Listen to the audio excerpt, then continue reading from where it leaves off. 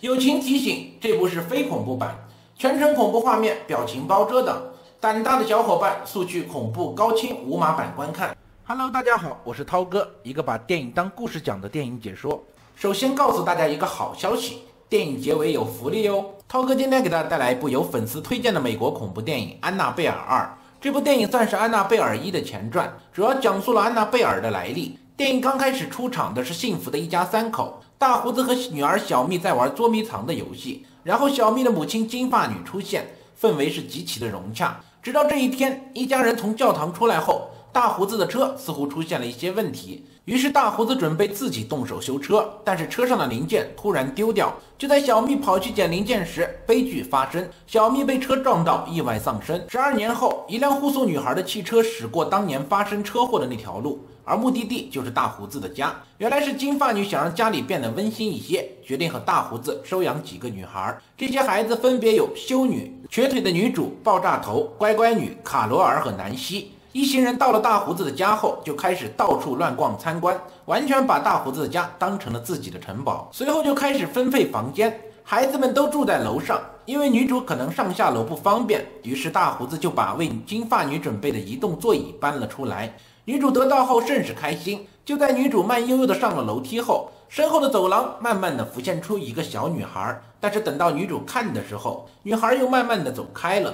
女主感到很是奇怪。就在这时，其他的孩子也都跑了上来，选择了自己喜欢的房间。当女主找到自己的房间时，突然看到一个门框上刻着身高线条。刚准备打开，大胡子突然出现，将房门紧锁，还警告女主不可以进去。女主听得一脸懵逼，随后就被琳达叫进了另一个房间。一行人选择完房间，简单的收拾后，准备一起享用晚宴。就在大胡子和孩子们祷告完后，金发女房间的铃铛突然响起。卡罗尔也有幸见到了戴着面具的金发女。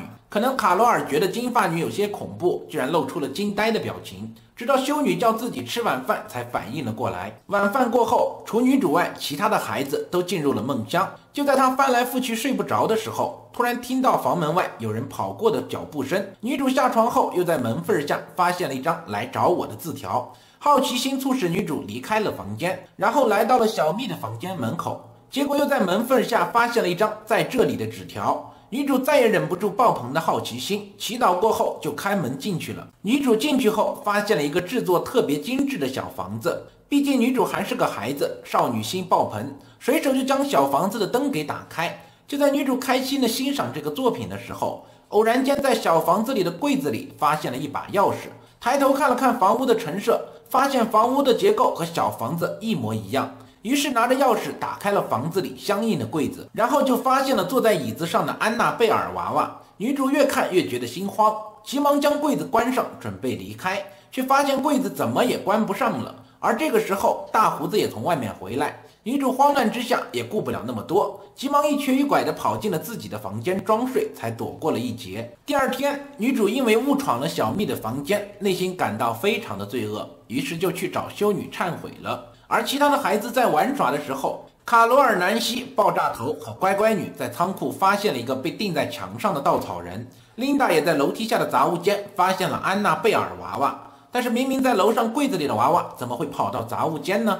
很明显，诡异的事情已经开始悄悄地发生了。当天晚上，卡罗尔和南希坐在地上讨论着白天不出门，晚上到处乱逛的金发女时，并且说金发女到了晚上就会依仗着杀人来进食。为了得到他们，金发女还会不停地叫他们的名字。就在两人开心地讲着这些时，突然听到了摇铃和脚步的声音。随后手电筒出了故障，一个白面恶魔闯了进来，吓得两人立马尖叫。但是这样的事情并没有结束，对于恶魔来说才刚刚开始。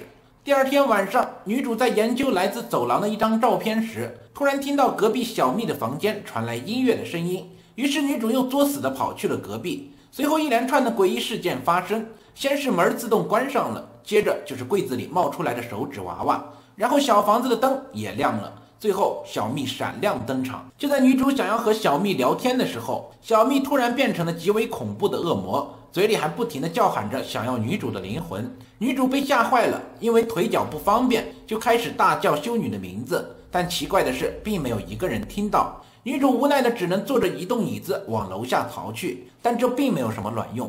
椅子被恶魔控制后，女主也被扔到了楼下，晕了过去。直到第二天才被众人发现。大胡子带女主看过医生后，然后为她配备了轮椅。接着修女就安排女主睡在了沙发上。当女主向修女提出想要离开时，被修女婉言拒绝。当天晚上，琳达陪女主聊完天后就上楼休息了。而上楼的琳达内心却还在害怕那个安娜贝尔娃娃，于是用玩具手枪来测试恶魔的存在。这不测不知道，一测吓一跳。刚把玩具枪的球发射出去，枪就被夺走了，吓得琳达急忙跑上了床。随后，恶魔也带着娃娃睡在了女主原来的床上。当天晚上也是在这种惊吓中才慢慢的睡去。第二天，修女推着女主走到院子里晒太阳，却没想到这一晒却葬送了女主。修女前脚刚离开，女主就被一双干枯的手推进了仓库。虽然女主坚持自救，但这并没有什么卵用，到最后还是被小蜜附身。当修女和琳达发现女主的时候，女主微笑着坐在轮椅上，修女这才放下心来。而女主的异样也只有琳达看得出来。后来，琳达在椅子上坐着想事情的时候，遇到了大胡子，并向大胡子说出了女主的异样和安娜贝尔娃娃。大胡子一听就急眼了，急忙拿着刚做好的十字架冲向了房间里。这冲动是魔鬼这句话也不是白说的。大胡子在没有任何保护措施的情况下去找恶魔，也只能是被恶魔送去领盒饭。当天晚上，大胡子被神父带走后，修女就想找金发女了解这件事，而琳达觉得娃娃太过于诡异，就直接把它扔进了水井。不料这一幕却被修女看到。就在两人准备离开的时候，水井突然剧烈的晃动，两人急忙跑回家，发现女主不见了，而安娜贝尔娃娃居然又回来了。修女让几个孩子去找女主，自己则带着娃娃和怒气冲进了金发女的房间。这才了解到了事情的真相。原来当初金发女和大胡子为了再见一次小蜜，愿意牺牲一切。就因为有这个念想，小蜜的灵魂回到了夫妻二人的身边，还附在了安娜贝尔娃娃的身上。金发女见到女儿回来，很是开心。但这种开心的日子没过多久，金发女就发现小蜜根本不是他们的女儿，而是另一个邪恶之源冒充的。金发女也在一次和恶魔的较量中受伤。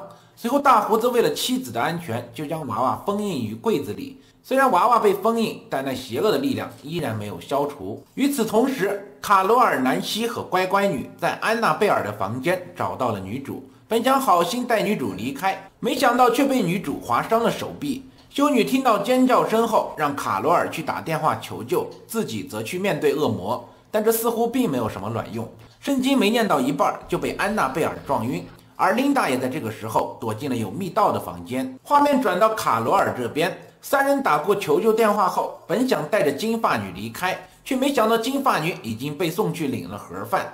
三人吓得急忙跑到外面，想开车逃跑，却被赶来的爆炸头给吓到，于是又跑到仓库准备躲起来。而仓库的门将卡罗尔与其他孩子分开。不仅如此，还遭到了神秘稻草人的追杀。还好，最后被及时赶来的南希救下。画面转回到琳达这边，琳达为了躲避安娜贝尔，先是躲进了柜子里的密道，随后又躲进了封印恶魔的柜子里。但这也只是徒劳。就在琳达被安娜贝尔找到，准备将她杀死的时候，修女及时出现，用十字架和带有十字架的项链挂在安娜贝尔的脖子上，顺手将安娜贝尔推进了封印的房子里。本以为事情就这样结束了，但是没过一会儿，房子开始剧烈震动。而修女带着琳达和其他的孩子汇合没多久，房子外的灯全部爆炸。第二天，警察赶来调查这件事，却没有任何的进展。而在封印的柜子里，也没有找到女主的踪影。修女很是无奈，只好带着孩子们先行离开。但谁也想不到的是，女主居然以安娜贝尔的身份出现在另一家孤儿院里，还被一对很和蔼的夫妇收养。时间一晃，十二年过去了。安娜贝尔也成年了，也有了自己的男票。某天晚上，安娜贝尔突然爆发本性，同男票一起杀死了养育自己的养父母，还刺伤了怀着 baby 的邻居。随后，安娜贝尔和男票被赶来的邻居丈夫杀死。安娜贝尔也趁机再一次进入到娃娃里，也就是安娜贝尔一刚开始的情节。如果忘了故事内容，可以去翻涛哥以前的电影解说哦。好了，故事到这里也就结束了。喜欢的朋友可以去搜搜看，我是涛哥。如果你有想看不敢看的电影，就私信告诉涛哥吧。涛哥每天为你解说一部电影，喜欢涛哥的就订阅我们吧，但一定要记得转发哦。福利到，好多小伙伴反映找不到小涛所解说电影的资源，现在微信搜索“小涛解说”，关注公众号，回复电影名称就可以获取高清电影资源。